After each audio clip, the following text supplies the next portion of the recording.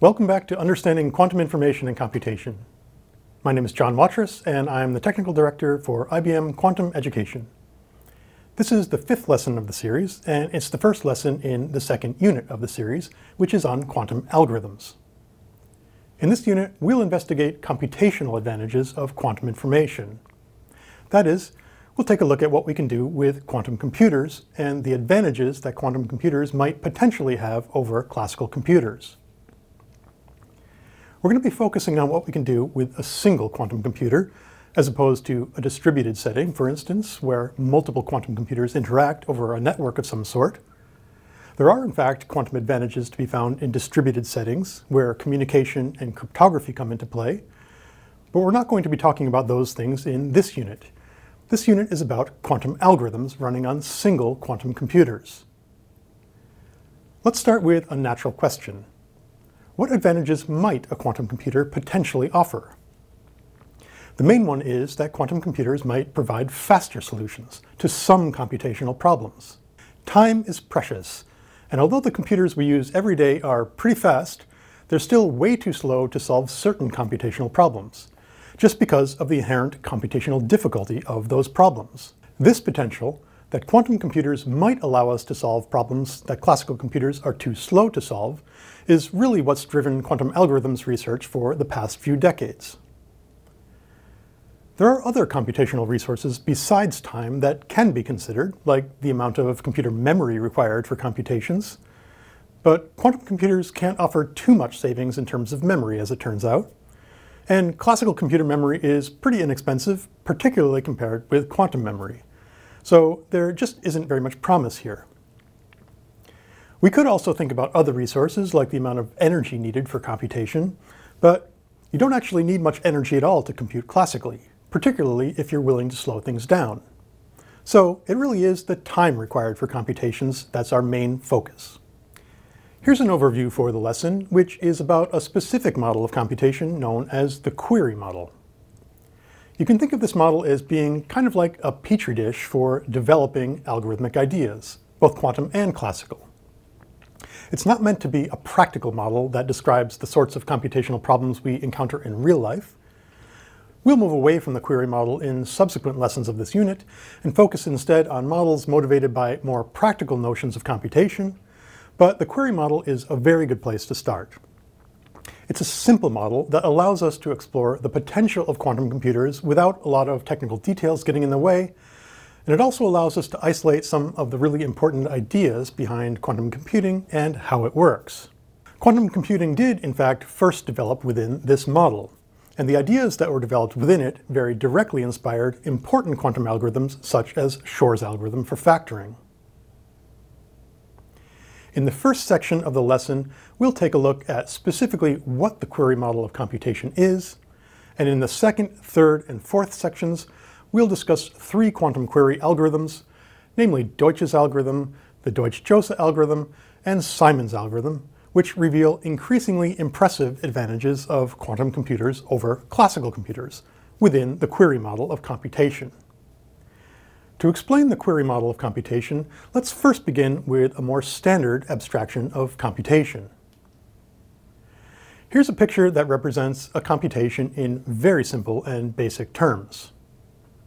We have an input, which usually takes the form of a binary string, although we could use other symbols if we wanted to. The input is provided to the computation, which is represented by a blue rectangle in this picture. And the result of the computation is that some output is produced. And again, that's most typically a binary string. Of course, this picture is not at all specific about how the computation itself works. We can formulate different specific computational models to do that, such as Turing machines and Boolean circuits, or quantum circuits if we're thinking about quantum computation. It's true that this picture doesn't represent the fact that many of the computers we use every day are continuously receiving input and producing output, essentially interacting with us and with other computers through the internet, for instance. But we're not trying to represent those interactions here. This is about modeling isolated computational tasks. For example, the input might be the binary encoding of a number, or a representation of a matrix, or a description of a molecule, or really anything else we have in mind. And there's some computational task being performed on that input alone. The key point here is that the entire input is provided to the computation, and nothing about the input is hidden from it. The query model of computation works differently. In the query model, the input is made available in the form of a function, which the computation can access by making queries, or in other words, by evaluating the function on different inputs. Here you can see that represented in the form of a picture. Similar to what we had before, the computation is represented by a blue rectangle. But instead of receiving an input directly in the form of a string of bits, for instance, it accesses the input by effectively asking questions and receiving answers. We sometimes use the terms oracle and black box to refer to the mechanism that provides the input. There is a distinction between an oracle and a black box in complexity theory, but that won't be relevant at all for the purposes of this discussion. Anyway, these terms are meant to convey the basic idea. In ancient Greece, you could go to an oracle, like the oracle at Delphi, and ask an important question. And the oracle would answer that specific question, but she certainly wouldn't tell you everything that she knew. Along similar lines, when we think about a black box, we have in mind some sort of process or system where we can choose what goes in and we can see what comes out, but we don't have any understanding of its inner workings. And that's the case here. The input to the problem takes the form of a function, and all that we can do is to evaluate that function. But otherwise, we don't have any knowledge or understanding of how it works. Throughout the lesson, we'll reserve the letter f for the function that represents the input, and we'll make the assumption that it always takes the form that you see right here. Sigma denotes the binary alphabet, so f is a function from strings of bits to strings of bits. And specifically, we'll assume that the input to f is a string of bits having length n, and the output is a string of bits having length m, where n and m are positive integers. For different problems, we'll have restrictions on n and m, but in all cases, the input function will take a form like this. When we say that a computation makes a query, what we mean is that the function f is evaluated once. That is, some string x of length n is selected by the computation, and the string f of x is then made available to it by the oracle or the black box. And finally, the very simple way that we'll measure the computational cost of a query algorithm is to count how many queries it requires. So, although it is true that we are really most interested in how long computations take, when we study the query model, we generally keep things simple and just count queries. And that's what we will do in this lesson. Now let's take a look at a few examples of query problems, meaning computational problems in the query model. And here, by the way, I'm just going to describe the problems themselves, and at this point I won't say anything about how to solve them. The first problem is the OR problem. In this case, the input is a function from n bits to just one bit, so m is equal to 1 for this problem, and the required output for the problem is either 1 or 0. If there is some n-bit string x for which f of x is equal to 1, then the correct answer is 1. And otherwise, if f of x is always 0 for every string x, then the correct answer is 0. So if we think about the function f as providing us with random access to 2 to the n bits, one for each n bit string x, then what the problem is asking for is the OR of those bits. And that's why it's called the OR problem. Another example is the parity problem, which is similar to the OR problem, except that it asks for the parity, or in other words, the exclusive OR of all of the single bit output values of the function. Another way to say that is that the correct answer is 0 if the number of n-bit strings x, for which f of x is equal to 1, is even. And the correct answer is 1 if that number is odd. An example of a problem where m is not necessarily equal to 1 is the minimum problem. Here, the function f takes the usual form, and there are no restrictions on n and m. And the correct answer is whatever output value of the function comes first in the lexicographic or dictionary ordering of binary strings. Alternatively, if you want to think about strings of length m as representing non-negative integers in binary notation, then the correct answer is the smallest possible or minimum value that comes out of this function. Sometimes we also consider query problems where we have a promise on the input function, or in other words, some sort of guarantee on it. And we don't worry about functions that don't meet that promise. Functions that don't satisfy the promise are considered as don't care inputs, and we're just not responsible for what happens on those inputs. Here's an example of a query problem with a promise called unique search. It's related to the OR problem, but it's different. The input function has the same form as for the OR problem, which is that it takes n-bit strings to bits. This time, we're promised that there's exactly one string z that causes f to evaluate to 1, with f of x being equal to 0 for every string x besides z. And the correct output is this unique string z. Of course, there are choices for the function f that don't satisfy this condition, but we don't place any requirements at all on algorithms for this problem when they're given such functions as input. We only care about the functions that do satisfy the promise. Now, all four of the problems I just mentioned are pretty natural problems, meaning that it's easy to explain them, and it's easy to imagine situations in which a need to solve them might arise. But some query problems aren't like this at all. In fact, sometimes we consider highly contrived query problems where it's difficult to imagine that anyone would ever actually want to solve them. Simon's problem, which we'll see later in the lesson, kind of falls into this category, but there are some other ones that are much worse in some sense, but that nevertheless actually turn out to be pretty important to the study of the query model. We don't study these problems because we necessarily want to solve them in practice. The way you can think about it is that we're looking for extremes of various sorts. In particular, when we're working within this petri dish of a model, a natural way to explore quantum algorithmic ideas is to formulate highly contrived problems where we can best exploit the power of quantum computers. And this can actually shed a great deal of light on how quantum computers can potentially be useful in more practical settings. We can formalize the notion of a query in different ways, depending on what computational model we're working with. For example, in the Turing machine model of computation, which we haven't talked about and we won't get into in this series, there's a certain way of formalizing the notion of a query that makes sense for that model. For circuit models, we define special types of gates called query gates, and that's how queries are formally represented.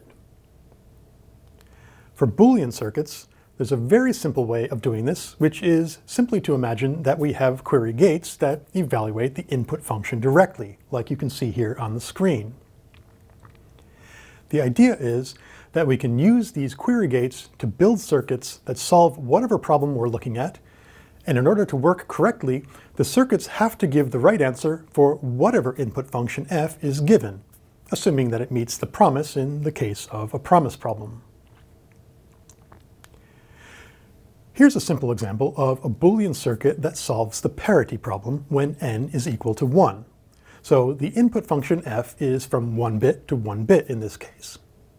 What this circuit does is to evaluate the function f on the inputs 0 and 1, using these two query gates. It then plugs the two output values it gets from the query gates into the Boolean circuit from lesson 3 that computes the XOR, which is the same thing as the parity. To be clear, these two input values right here are not inputs into the problem, meaning the parity problem. When we're working with the query model, the input to the problem is the function f.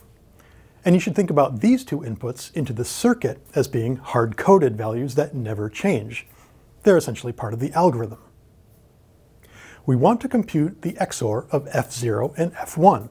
So we initialize these two wires in this way to make it work. We've used two query gates here, this one and this one, And so the algorithm represented by this Boolean circuit makes two queries. And if we think about the parity problem for a moment, for functions from one bit to one bit, we see that it's absolutely necessary for any Boolean circuit that solves this problem to make at least two queries. If you only make one query, so that you only know one output value of the function f and not the other, you don't actually have any information at all about the parity, because the other output value could equally well be 0 or 1, leading to either of the two possible solutions to the problem. So, in terms of the number of queries that it makes, this Boolean circuit is as good as it gets for the parity problem when n is equal to 1. There's one other point about query gates that's worth mentioning before we move on, and that is that when we're designing and analyzing query algorithms, we don't worry at all about how query gates are implemented. It's assumed that these query gates are given to us, and the difficulty of building them isn't our concern. You can think of the query gates themselves as being the input, if you like, and it's not our job to create the input, we're just trying to solve a particular problem, given the input. Of course, when f is a function from 1 bit to 1 bit, there are only four possible choices, and it would be easy enough to implement any one of them. But in general, for functions with many input bits, it could be extremely difficult to implement query gates for those functions. To be clear, this isn't to say that the issue of how query gates are implemented isn't important, but rather that it isn't considered to be part of the cost of a query algorithm. This is consistent with the idea that this isn't really about practical computing or actually building circuits per se. It's about working within a theoretical framework that tells us interesting things about computation. We will have more to say about this when we make the jump from this model to a more standard model of computation, and that's mainly what the next lesson, lesson 6, will be about. Now let's turn our attention to quantum circuits. For quantum circuits, we're going to change the definition of query gates to make them unitary. We want to be able to make queries within quantum circuits and for them to operate linearly on quantum states, so that we can effectively make queries in superposition. It might seem like we're moving the goalposts, so to speak, by changing what we mean by a query in comparison to what we just saw for Boolean circuits, but there is justification for it that we'll discuss in more detail in the next lesson. For now, it's just a definition. Specifically, the definition is as follows. Given any function f of the same form as before, meaning that it maps n-bit strings to m-bit strings, the query gate uf acts on n plus m qubits, and is defined by the action described here on standard basis states. We'll see a figure representing this definition in just a moment, but first let me make clear the notation that's being used here. And that is, whenever we use the symbol for the XOR as an operation between two strings of the same length, we're referring to the bitwise exclusive OR. And here you can see an example. In the definition, we have that both y and f of x are strings of length m. So this string right here represents the string we get by XORing those two strings together, one bit at a time. And here's a diagram explaining how these gates work. The top n qubits correspond to the argument of the function. And when they start out in a standard basis state, ket x in this diagram, that standard basis state goes through unchanged and gets echoed as part of the output. The bottom m qubits correspond to the output of the function f. And when they start out in any standard basis state, ket y in this diagram, what happens is that the output of the function, f of x, gets XORed onto the string y. This is what happens for standard basis states, and if we want to know what happens in general for other quantum states, we use linearity, as we always do. A reason to define query gates like this, where we echo the input and we use the bitwise XOR for the output, is that these gates are always unitary for any choice of the function f. This is, in fact, a deterministic operation. And if we were to express it as a matrix for any choice of a function f, we'd get a permutation matrix, meaning one with a single one in each row and in each column, and all other entries equal to zero. and permutation matrices are always unitary. In fact, for this operation, we'll get that the operation is its own inverse. So uf dagger equals uf. If all we want to do with these gates is to evaluate f of x for some string x, that's easy. We can just set y to be the all zero string, so when we take the bitwise exclusive OR, we end up with just f of x. Here, by the way, you can see the notation that's used to denote the all zero string. It looks like 0 to the power m, but that's not what it means. It means the string of zeros having length equal to m. When we're talking about strings, as opposed to numbers, exponents typically mean that we repeat that string some number of times. So this is 0 repeated m times. It's just a convenient and precise way of describing this string. Once again, when we're working with the query model, we aren't worrying about how to implement these query gates. That's the same issue we had with query gates for Boolean circuits. It's not our job to prepare the input. We're given the input in the form of these query gates. I will point out, though, that if we know how to implement the function f using a Boolean circuit, then it is possible to translate that implementation pretty directly to a quantum circuit implementation of UF. And we'll see exactly how that works in the next lesson. As an aside, it is quite straightforward to create a Boolean circuit that operates like this, using a single classical query gate for the function f.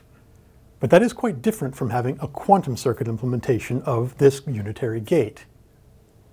The point, however, is that for classical query algorithms, having a query gate that works like this is in fact equivalent to having an ordinary classical query gate for f, in the sense that either one can be implemented using the other. In this section of the lesson, we'll discuss Deutsch's algorithm, which is a very simple quantum query algorithm, but it really is a gem. This algorithm comes from a 1985 paper written by David Deutsch, who was one of the very first people to work on the theoretical foundations of quantum computing. The algorithm itself represents a very small part of Deutsch's 1985 paper, and in fact, the algorithm we now call Deutsch's algorithm is actually an improved version of the algorithm that Deutsch described. It provides a very modest example of how quantum computers can offer computational advantages, but you have to start somewhere, and it really was an important spark that got things started. Deutsch's algorithm solves a query problem that's often called Deutsch's problem in the context of quantum computing. But in fact, it's none other than the parity problem for functions from one bit to one bit, which we've already talked about. As we've already seen, there are four functions from one bit to one bit, and they're described here on the screen by their tables of values. The first and last of these functions are constant, while the middle two are balanced in the sense that the two possible output values appear the same number of times. For the two constant functions, we see that the parity, or in other words, the exclusive OR of the two outputs is zero. And for the two balanced functions, the parity of the outputs is one. So, an equivalent way to describe the parity problem in this particular case, where the function f takes a single bit as input, or in other words, Deutsch's problem, is like you see here. The input is a function f from one bit to one bit, and the output is 0 if f is constant, and 1 if f is balanced. As I've already suggested, every classical query algorithm that solves this problem must make at least two queries to f. If you learn just one of the two output values of f, you still have no information at all about the parity of the two outputs. And this, by the way, is true even for classical algorithms that make use of randomness. Randomness can sometimes be very useful for solving query problems, and we'll see an example a bit later in the lesson. But randomness doesn't help here. So, our algorithm from before is optimal among classical query algorithms for Deutsch's problem. Now we'll take a look at Deutsch's algorithm, which is a quantum query algorithm that solves Deutsch's problem using a single query. And here is the algorithm described as a quantum circuit. We have two qubits initialized like you see here, with the top one initialized to ket 0 and the bottom one initialized to ket 1. And we'll see why we initialize these qubits like this shortly. We perform Hadamard gates on the two qubits, feed them into the query gate, perform another Hadamard gate on the top qubit, and then measure it. And the claim is that the measurement outcome gives us, with certainty, the correct answer to the problem.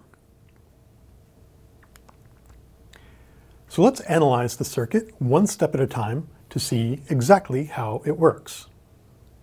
The state of the two qubits after the first layer of Hadamard gates is the tensor product of the minus and plus states.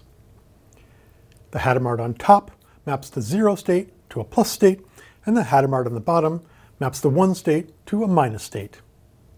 Top qubit is on the right, and the bottom qubit is on the left, so this is the state that we get. It's very important that the bottom qubit is in a minus state, by the way. This wouldn't work if we initialized the bottom qubit to a zero state instead of a one state. We're going to expand this state halfway, like you see here. The reason for doing that isn't clear at this point, but it will be convenient in just a moment.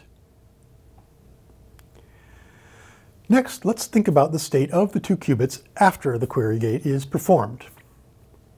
The way the query gate works is that it computes f on the standard basis state of the top qubit and XORs the value onto the bottom qubit, and here we can see the result of doing that. For the first term, the standard basis state of the top qubit is 0, so f of 0 gets XORed onto the bottom qubit, and that works by linearity. And it's similar for the second term, except that the standard basis state for the top qubit is 1, so we XOR f of 1 onto the bottom qubit.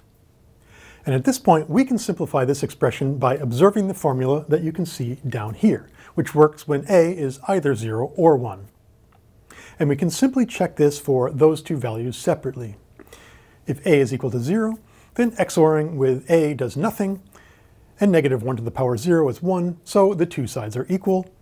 And if a is equal to 1, we get ket 1 minus ket 0 when we take the XOR, which is negative 1 times ket 0 minus ket 1.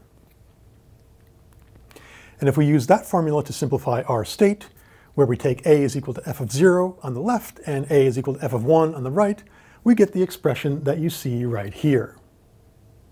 So, when we compare the two quantum state vectors pi 1 and pi 2, we see that what the UF gate does is effectively to put one of the two values, f of 0 or f of 1, into the exponent of negative 1, or in other words, into the phase of each term. This is the reason for initializing the bottom qubit to 1 and performing a Hadamard gate on it, to create the minus state, which allows this to happen. It's called the phase kickback phenomenon, and we'll come back to it in a few moments to have another look at it.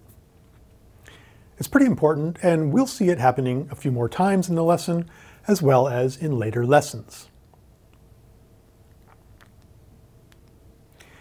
We can now simplify by pulling the minus state back outside to get the expression that you see right here. As an aside, it's kind of interesting to notice that there isn't actually any entanglement here. Both of these states are product states. So, while entanglement is extremely interesting, doesn't happen to be playing any role at all in this particular algorithm. Let's clean this up a bit so that we have a little bit more room. What we can now do is to pull a factor of negative 1 raised to the power f of 0 outside to get the expression of the state that you see right here. You'll notice that right here we have the exclusive OR of f0 and f1 in the exponent of negative 1. We might expect that to be f of 1 minus f of 0 because we pulled a factor of negative 1 to the power f of 0 out. But we get the same value if we take the XOR because these are bits and the only thing that matters when we have an integer in the exponent of negative 1 is whether that integer is even or odd. Another way to express this state is like we have here, where we're just considering the two possible cases for the XOR.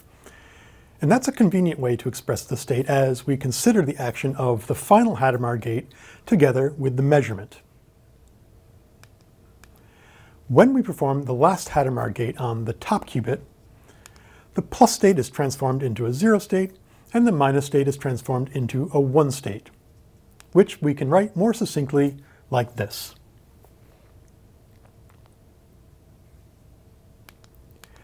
And finally, when the measurement is performed, the result we obtain is therefore the XOR of F0 and F1, which is the value we're looking for. And that's how Deutsch's algorithm works. It's pretty simple, and if we ask ourselves what it is that makes it work, allowing us to compute the parity of two bits with a single query rather than two, a reasonable answer is that it's interference we're effectively computing f of 0 and f of 1 at the same time, because we first performed the Hadamard gate on the top qubit to put the input into f into a superposition of 0 and 1. And by means of the phase kickback, together with the final Hadamard gate, we're essentially creating constructive interference for the correct answer and destructive interference for the wrong answer. So we don't see the wrong answer, we only see the correct answer. Let me now say a bit more about the phase kickback phenomenon, just to see it from a slightly different angle. First, let's observe this very simple formula, where b and c are arbitrary binary values. In short, XORing a bit b by the value 1 is the same thing as performing a NOT gate or an X operation on b, and of course XORing a bit b by the value 0 doesn't do anything to it, which is the same thing as performing the identity operation on it, and we can express the identity operation as x to the power 0.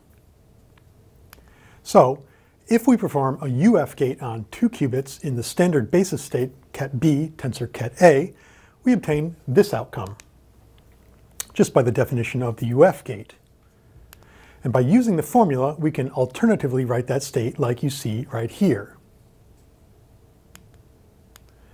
This formula works for all choices of B, so by linearity, it works for an arbitrary state, psi, in place of ket B. And in particular, if we want to, we can choose psi to be the minus state. And now here's the key to why the phase kickback phenomenon happens. It's because the x operation applied to the minus state gives us negative 1 times the minus state. In mathematical terms, we say that the minus state is an eigenvector of the x operation with eigenvalue equal to negative 1. Eigenvectors and eigenvalues are critically important in linear algebra as well as in quantum information, and we'll have a lot more to say about them as the series continues. But for now, all we need is this simple formula. And using it, we can simplify our state vector. And that right there is essentially the phase kickback phenomenon, written as a formula. It works because the minus state is an eigenvector of the NOT operation, having eigenvalue negative 1.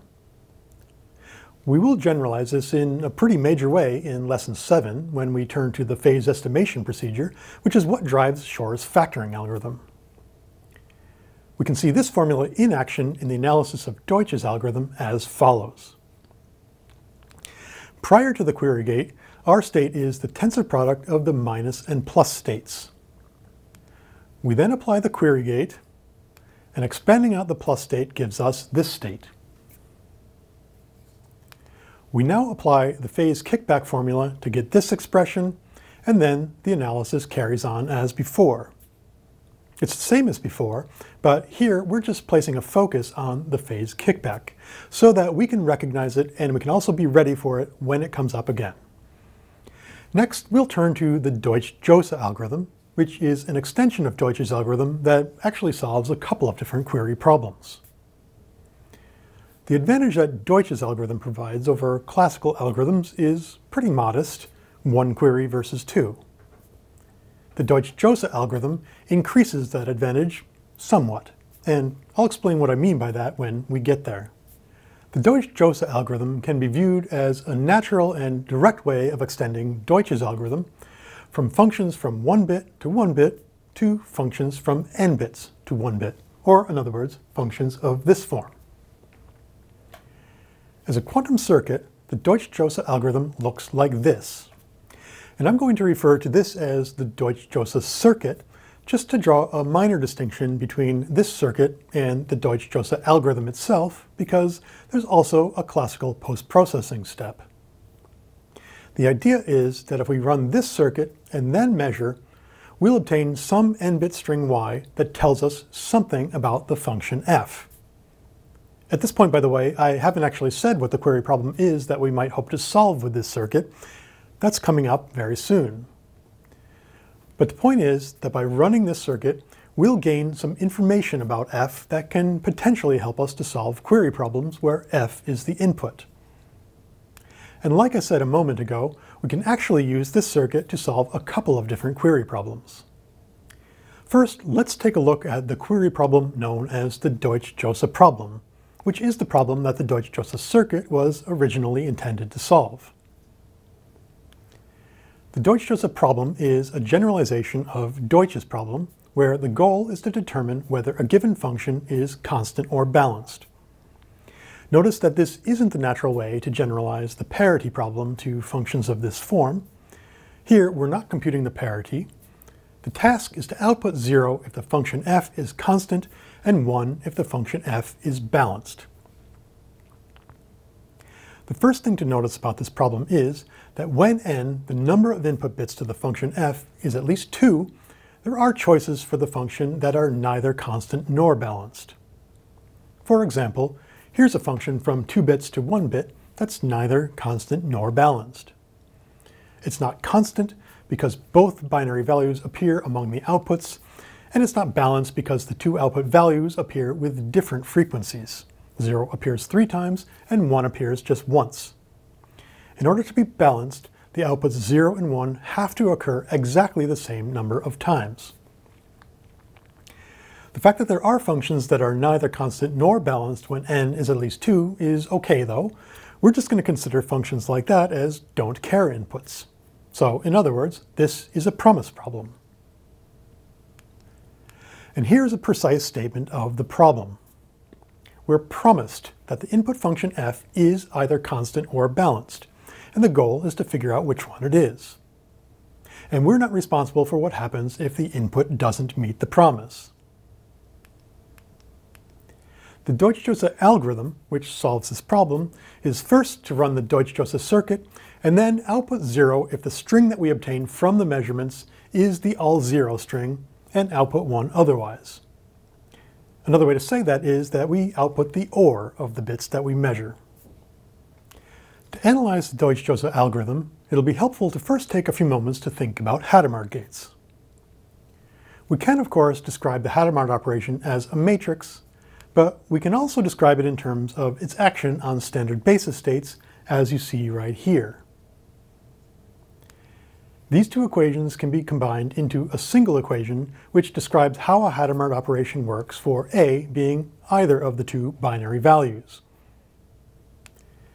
And we can go a little bit further and express what we obtain as a sum like this.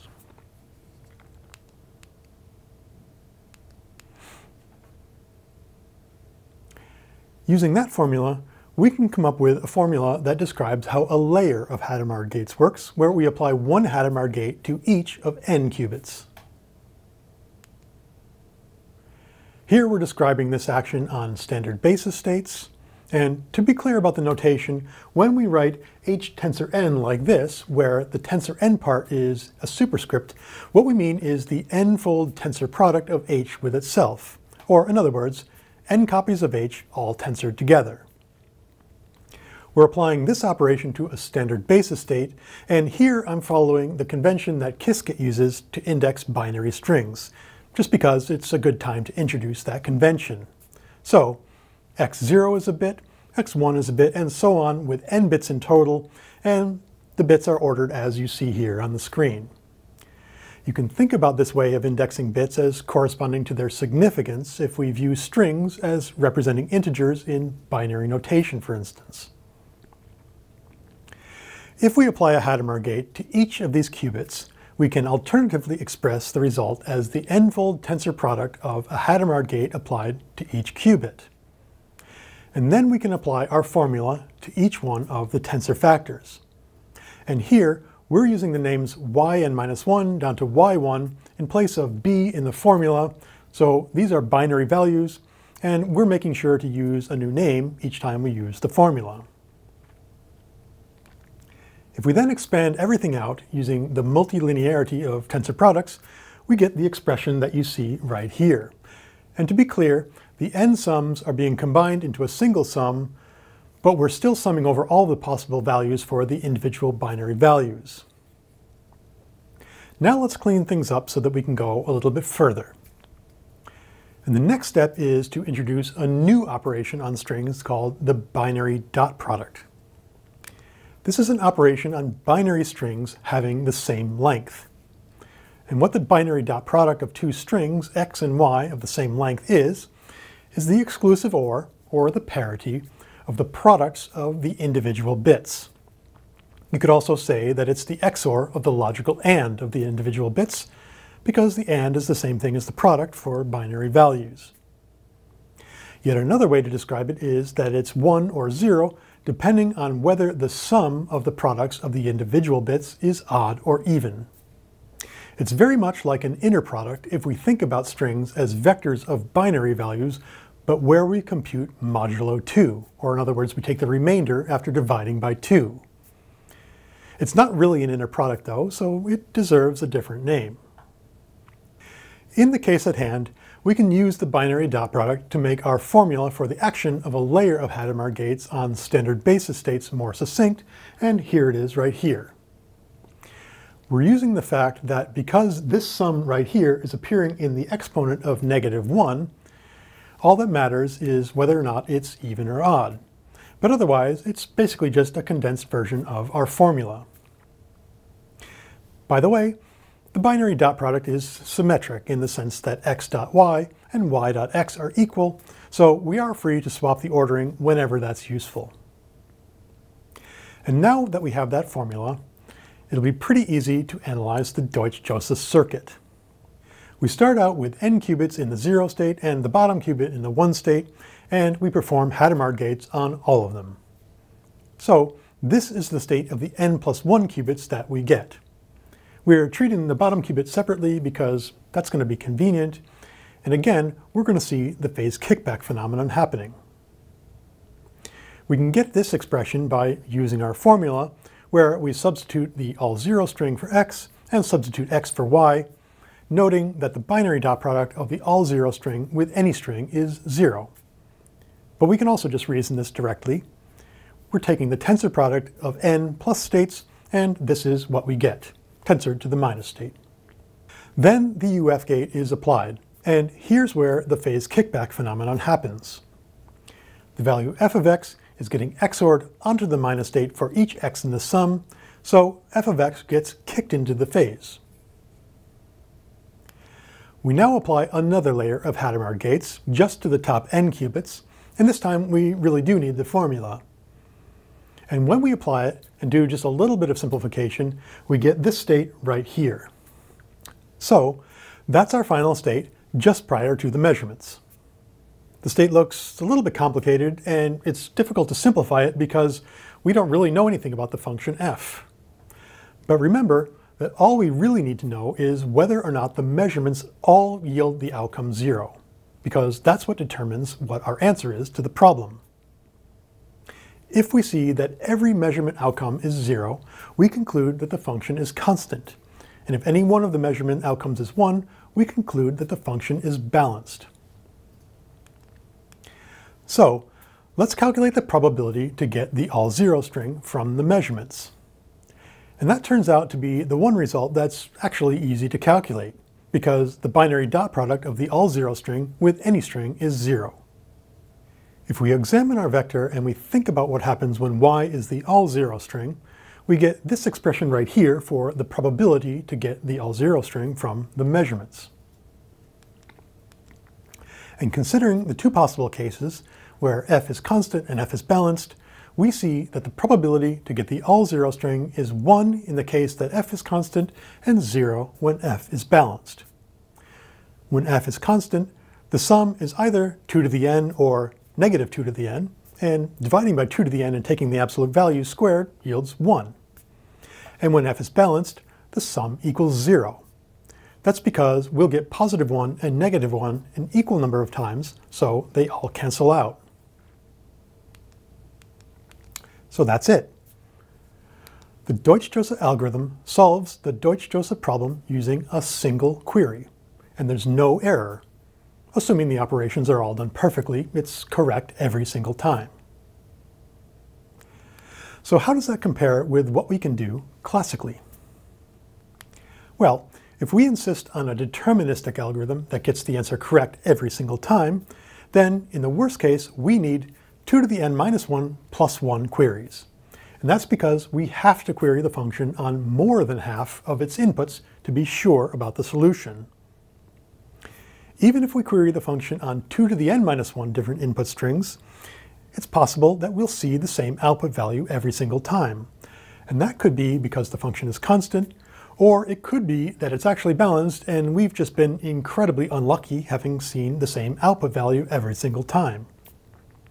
So that's a huge advantage of quantum over classical a single query versus exponentially many queries. However, if we use a probabilistic query algorithm and we accept a small probability that it answers incorrectly, then we actually only need a few queries. In particular, if we randomly choose k strings and evaluate the function on those random strings, then we're pretty likely to be able to figure out the right answer. Specifically, we answer 0 or constant when we get the same function value every single time, and 1 or balanced whenever we see two different function values. If we do that, we'll always be correct when the function is constant, because of course we'll always see the same output value in this case, and if f is balanced, we're very likely to see two different output values.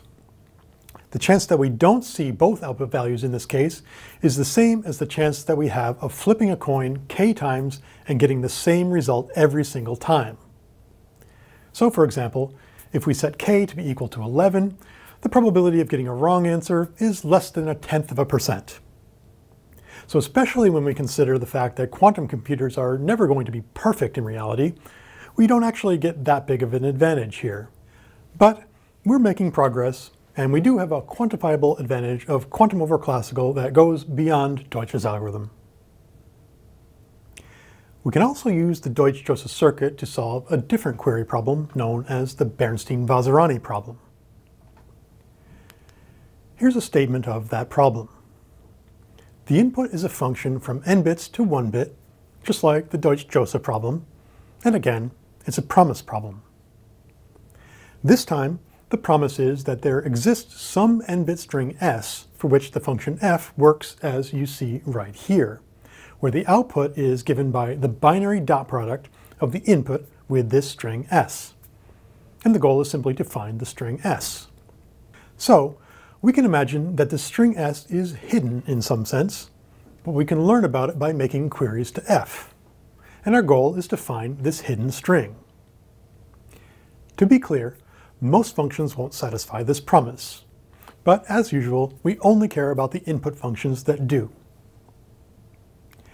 As it turns out, the Deutsch-Jozsa circuit actually solves this problem right out of the box. If we run it for a function like we have here that satisfies the promise for some string s, the measurements will reveal the string s with no post-processing required. So let's see how this works. We've already analyzed the Deutsch-Jozsa circuit, so we can actually just skip right to the end. Here's the expression that we had from before for the state just prior to the measurements. And that expression was valid for any function f. And now, if we substitute in what we're promised about the function f and simplify, we get the minus state for the bottom qubit tensored with ket s for the top n qubits. And so we get s when we measure. There is some work to do to perform the simplifications that I've shown here, and I won't go through that in this video, but there is more detail about it in the textbook content for this series, which you can find by following the link in the description of the video, or just try it for yourself for some practice.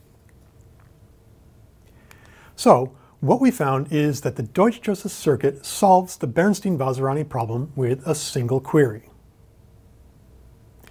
It's not too hard to show that any classical algorithm, whether it's deterministic or probabilistic, needs at least n queries to solve the Bernstein-Vazirani problem, for the simple reason that we need n bits of information to recover S, and each query gives us at most one bit of information. So, we get another advantage of quantum over classical query algorithms. One query for quantum algorithms, n queries for classical algorithms. It's worth taking just a moment to speak about the nomenclature that's used in the context of this problem and a little bit about the history. People sometimes refer to the algorithm that I just described as being the Bernstein-Vazirani algorithm, but it's really just the Deutsch-Jozsa circuit, and that's something that was, in fact, very clearly stated in Bernstein and Vazirani's work. So it is a little bit strange that it's called the Bernstein-Vazirani algorithm because it's pretty much the same thing as the Deutsch-Jozsa algorithm, minus the post-processing. Bernstein and Vazirani did, however, go a step further. They defined a recursive version of this problem where you basically have to solve instances of the Bernstein-Vazirani problem to unlock new instances of the problem that are arranged in a complicated tree-like pattern. It's a highly contrived problem, but the point is that by defining a problem in this way, they could effectively stretch out the 1 versus n query separation between quantum and classical. And what they obtained is the very first known example of a so-called superpolynomial advantage of quantum over probabilistic algorithms. This recursive version of the Bernstein-Vazirani problem also turned out much later to be very interesting in computational complexity theory for different reasons. Anyway, the point is that Bernstein and Vazirani certainly deserve recognition for their important contributions, but it really doesn't make sense to refer to this as the Bernstein-Vazirani algorithm it's basically just the Deutsch-Jozsa algorithm. In the last part of the lesson, we'll take a look at one more quantum query algorithm known as Simon's algorithm. You'll see a clear similarity between this algorithm and the Deutsch-Jozsa algorithm, but it is different, and more importantly, it reveals a much stronger advantage of quantum over classical query algorithms. Specifically, it gives us a provable exponential advantage of quantum over classical algorithms even probabilistic ones.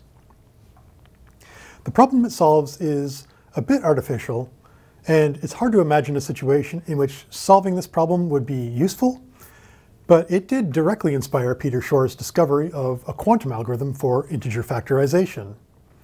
And that very strongly supports this idea of the query model as a petri dish in which quantum algorithmic ideas can be developed. Let's start with the query problem that Simon's algorithm solves, which, as you might have guessed, is called Simon's problem.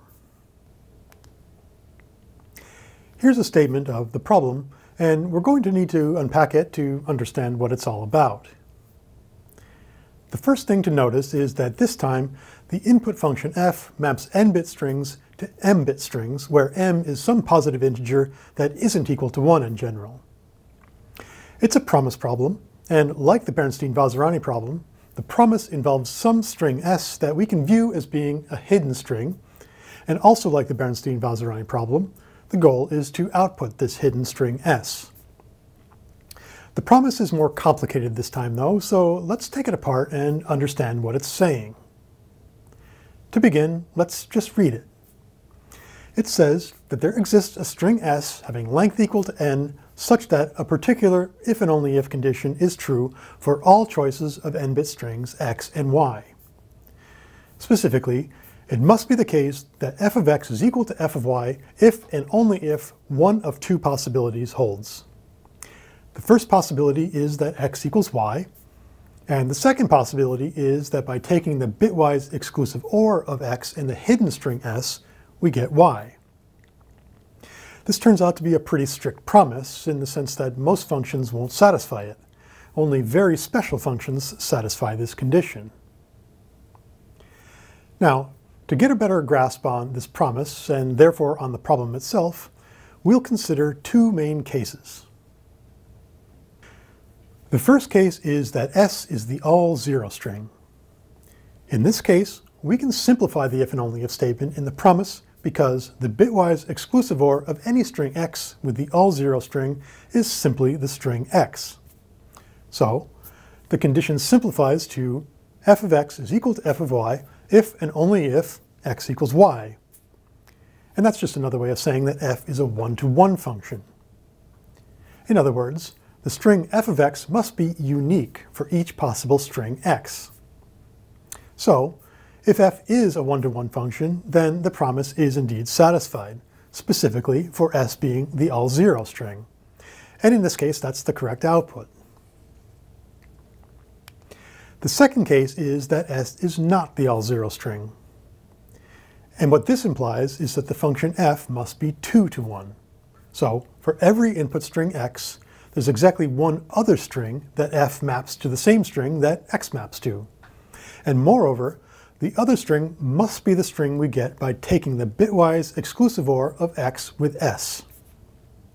Another way of saying this is that every n-bit string x has a partner. And that partner is the string that we get by taking the bitwise exclusive OR with s. Any two partners must give us the same output string if we plug them into f, and no other strings are allowed to give us that same output string. So these are necessarily distinct strings that partners produce. Here's an example of a function like this, described by its table of values. So this is a function from 3 bits to 5 bits. If we stare at this table of values for a while, we find that the promise is satisfied for the string 0, 1, 1. 0, 0, 0 and 0, 1, 1 are partners. XORing either one of them by S gives us the other, and they take the same output value, which is 1, 0, 0, 1, 1 in this particular case, and no other strings produce that same output string. 0, 0, 1 and 0, 1, 0 are partners because XORing either one by S gives the other, and they produce the same output value, which again isn't produced by any other string. And the situation is similar for 100 and 111, as well as 101 and 110. So, if the input to the problem is this function, the correct answer is the string 011. Like I said before, most functions don't satisfy this promise. It's a very specific condition. It should also be noted that if the promise is satisfied, it can only be satisfied for one string s, so there's always only one correct answer to this problem. So that is Simon's problem. Like I said, it's hard to imagine a practical situation in which you'd want to solve this problem, but that isn't the point. The point is to try to figure out what quantum computers are good at. And it turns out that they're far superior to classical algorithms for solving this particular problem. Now let's take a look at Simon's algorithm, which solves Simon's problem. The algorithm consists of running the quantum circuit that you see here several times, followed by a classical post-processing step. And we'll be more specific about what several times means a bit later. The circuit looks very similar to the Deutsch-Jozsa circuit. This time, because the function f maps n bits to m bits, the query gate is different. Rather than just a single qubit on the bottom, we now have m qubits on the bottom and n on the top like before. A key difference is that we're not setting up a minus state or multiple minus states on the bottom. These bottom qubits are all initialized to the zero state, and those states go straight into the query gate. So there won't be any phase kickback involved in this algorithm. It's just not how this one works. Other than the differences I just mentioned, though, it looks very similar to the Deutsch-Jozsa circuit. We apply a layer of Hadamard gates, then we apply a query gate one time, and then we apply another layer of Hadamard gates followed by standard basis measurements of the top n qubits. The idea is that each time we run this circuit and measure, we'll get some string y that tells us something about the hidden string s in Simon's problem. And by running the circuit several times independently, we will have gathered enough statistical evidence about s to be able to figure out what it is with high confidence. Now let's analyze the quantum circuit for Simon's algorithm to see what it does.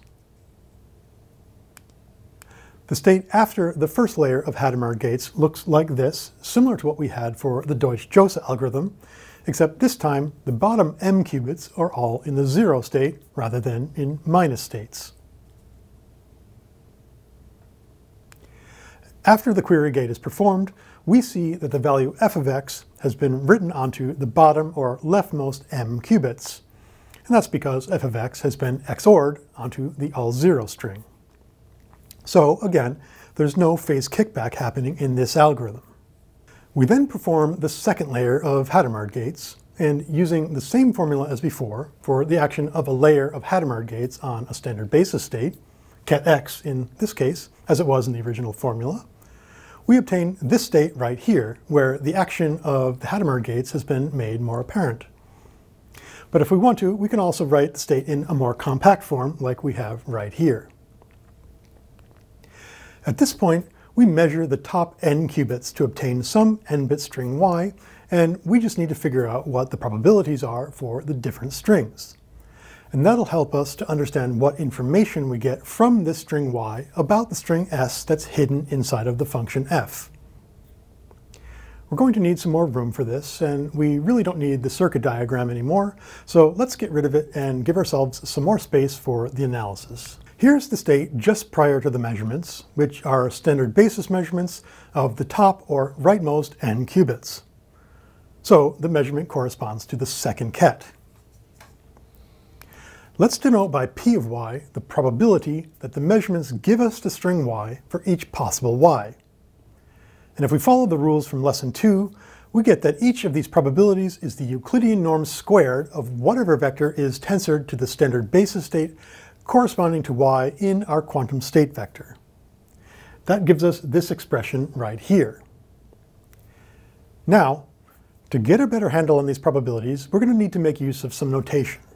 And you might already be familiar with this notation because it's pretty common in mathematics. First, when we refer to the range of the function f, we just mean the set of all of the strings that can come out of this function. So, it's the set of all f of x ranging over all the possible choices of an input string x. Second, we're going to use this notation that you see right here to mean the set of all of the input strings x that f maps to a given string z for whatever choice of z we want to consider. It kind of looks like the inverse of the function f, but it's not really the inverse because f is not necessarily invertible. We also see that we have a set as the argument on the left-hand side, and in this case it's the set containing just a single string z. And that's the clue we need to recognize that we're not talking about the inverse of the function f. This is called the preimage. The preimage can be defined more generally for any set given as an argument, not just a set containing a single element, but this is all that we're going to need.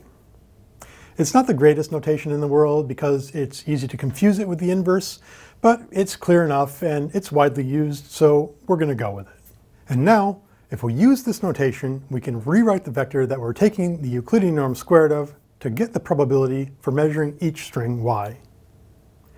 We're doing this because we need to see what the coefficients are for each individual standard basis state, and that's not clear from this expression right here, because in general, we may have multiple choices of x giving us the same string f of x. In essence, all we're doing is splitting up the sum over x by first summing over all z in the range of f, and then inside of that sum, summing over all x in the preimage of z, or to be more accurate, the preimage of the set containing the string z. That lets us replace f of x with z inside of the ket right here, and the sum over all the different strings x that f maps to each z are collected into the coefficient for each ket. We're basically putting strings into bins, summing over the bins, and then summing over the strings in each bin, but that's equivalent to just summing over all the strings. So we do obtain an expression that's equivalent to the one that we started with. And now we can compute the Euclidean norm squared. It's just the sum of the squares of the absolute values of the coefficients, and so we get this expression right here for our probabilities. Of course, give yourself time to verify this if you choose to do that. It takes time to get used to all this and to be able to perform these calculations. And the more practice you give yourself, the easier it'll become. So far, we haven't actually made use of the promise in Simon's problem at all. Our analysis of these probabilities actually works for any function f. But now it's time to think about Simon's problem specifically. We're going to break things down into the same two cases that we had before. The first case is that S is the all zero string, and the second case is that S is not the all zero string. In the first case, that S is the all zero string, things are pretty simple. In this case, as we saw before, we have that f is a one-to-one -one function. So there's a single string x that gets mapped to each of the strings z in the range of f. That makes the absolute value squared of the sum over those strings equal to 1, because there's just a single term in the sum. It's either plus 1 or minus 1, but it doesn't matter which because we take the absolute value squared. And so we get 1.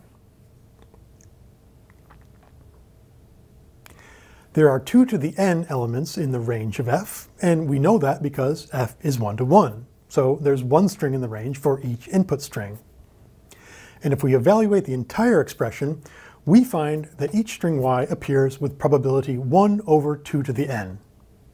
So, in other words, the measurements give us a string y chosen uniformly at random. That might not seem all that useful, but we will in fact be able to distinguish this behavior from the behavior we get in the case that S is not the all-zero string, and we'll see how that goes shortly. For now, though, we simply observe that if f satisfies the promise in Simon's problem, in the case that S is the all-zero string, then the result of the measurements is a uniform random string. Now let's move on to the second case, which is that the promise is satisfied for a string S that's not the all-zero string. In this case, as we discussed before, each string z in the range of f has exactly two strings that map to it, because every string has a partner and each pair of partners maps to some unique string. And specifically, each string's partner is the string we get by XORing with s.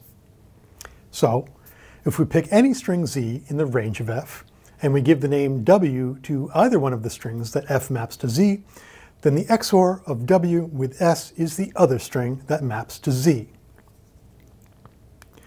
Looking at just the one term in our sum that corresponds to whatever string Z in the range that we have in mind, we see that we can write it more explicitly as we have right here.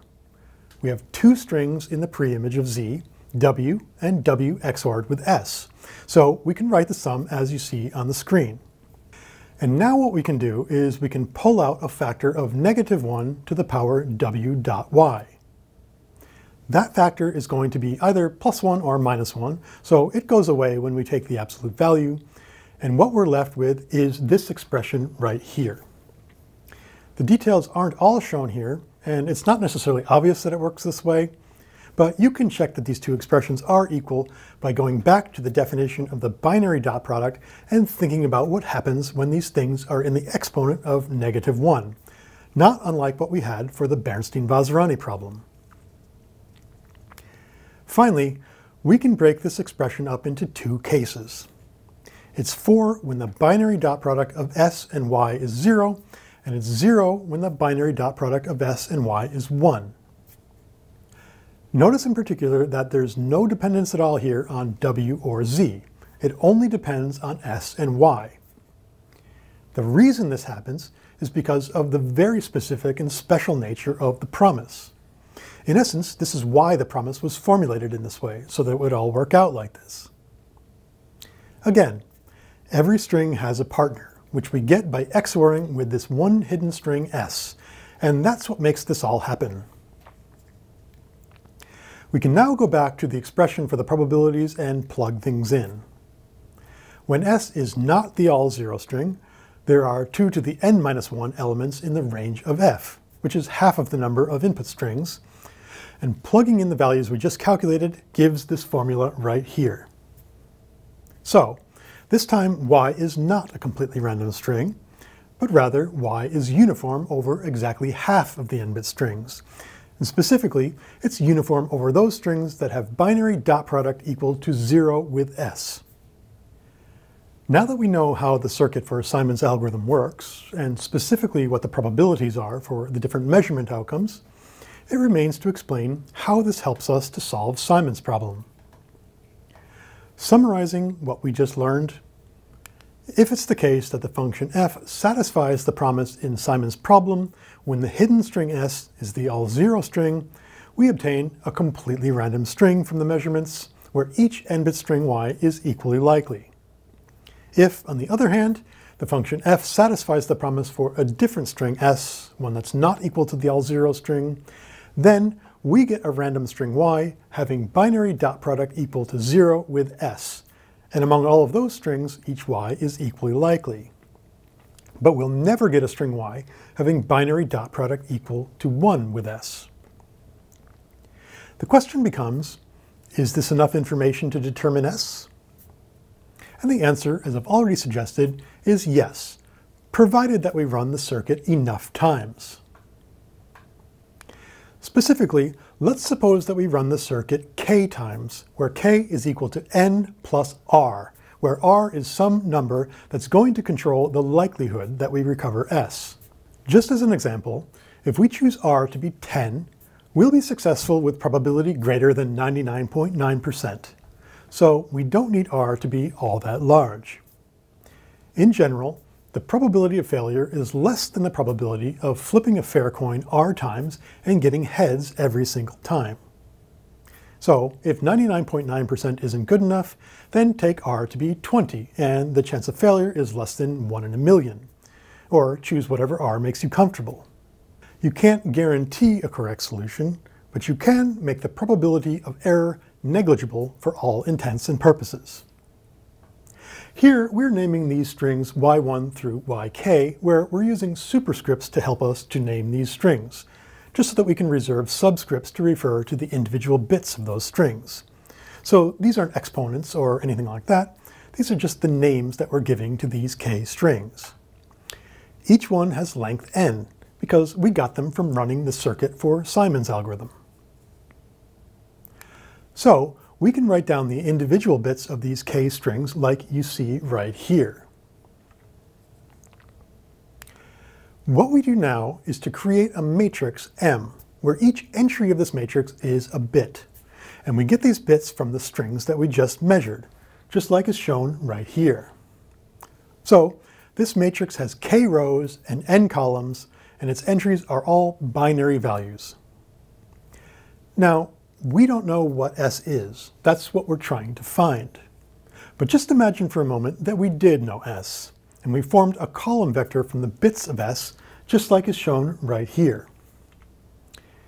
If we were to multiply that vector by m, and then take the result modulo 2, or another way of saying that is that we replace addition with the exclusive OR, then we will necessarily get the all zero vector.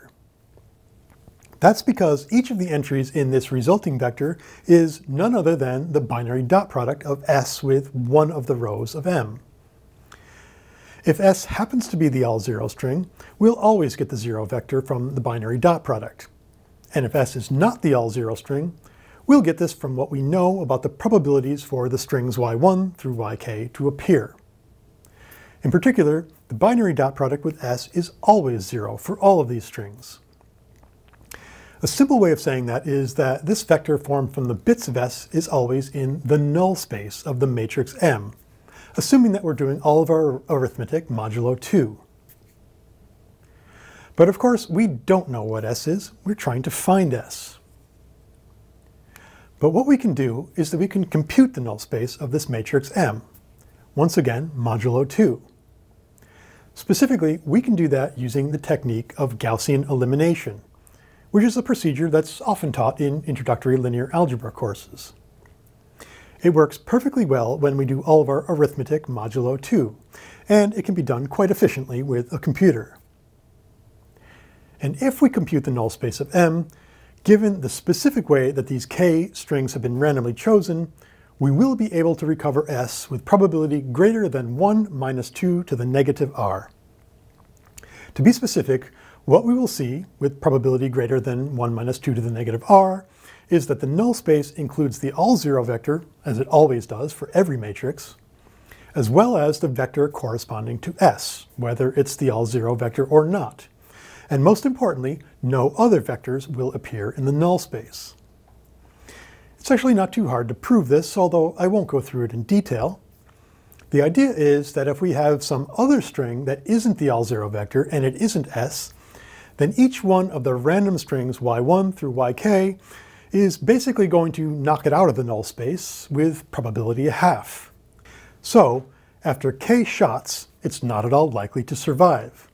And in fact, none of the strings that don't belong are likely to survive. And a very simple fact from probability theory, known as the union bound, can be used to establish that. I haven't explained all of the details here, but hopefully you get the idea that by computing the null space modulo 2 of this matrix M, we are very likely to recover S. And that's how Simon's algorithm solves Simon's problem. There's just one thing left to say about Simon's problem, and it concerns the classical difficulty of this problem. That is, how many queries does a classical query algorithm need to solve Simon's problem? The answer is a lot in general. There are different precise statements that can be made about the classical difficulty of this problem, and here's just one of them. If we have any probabilistic query algorithm, and that algorithm makes fewer than 2 to the power n over 2 minus 1 minus 1 queries, so that's a number of queries that's exponential in n, then that algorithm will fail to solve Simon's problem with probability at least a half. Sometimes proving impossibility results like this can be very challenging, but this one isn't too difficult to prove through an elementary probabilistic analysis. I won't do that in this video lesson, and I'll just instead focus on the intuition behind it. We're trying to find the hidden string s. But so long as we don't query the function on two strings having the same output value, we'll get very limited information about s. Basically, all we learn is that the hidden string s is not the exclusive OR of any two distinct strings that we've queried. And if we query the function at fewer than this number of queries, there will still be a lot of choices of s that haven't been ruled out. This isn't a formal proof, but that is the basic idea. So, in summary, Simon's algorithm provides us with a striking advantage of quantum over classical algorithms within the query model. In particular, Simon's algorithm solves Simon's problem with a number of queries that's linear in the number of input bits n to our function. Whereas any classical algorithm, even if it's probabilistic, needs to make a number of queries that's exponential in n in order to solve Simon's problem with a reasonable probability of success. It's true that Simon's problem is a somewhat artificial problem that presumably nobody really wants to solve. But that's secondary. Sometimes ideas need to be developed before they're put into practice. And indeed, Peter Shor has clearly stated that it was Simon's algorithm that inspired his now famous quantum algorithm for integer factorization, which we'll see in a couple of lessons. And that is the end of Lesson 5. In this lesson, we've taken a look at the query model of computation, and we've seen a progression of examples of quantum algorithms that exhibit advantages over classical algorithms within this model. There is, in fact, a lot more known about the query model and quantum algorithms for other problems that I've not discussed. So if you find this model to be interesting, there's quite a lot more to learn about it. Our next step will be to move away from the query model and toward a model of computation that's more representative of the sorts of problems that we might hope to solve in practice. I hope you'll join me for Lesson 6, where we'll focus mainly on laying down a foundation for studying quantum algorithms. And from there, we'll move on to some specific quantum algorithms, including Shor's algorithm for integer factorization, in subsequent lessons. Goodbye until then.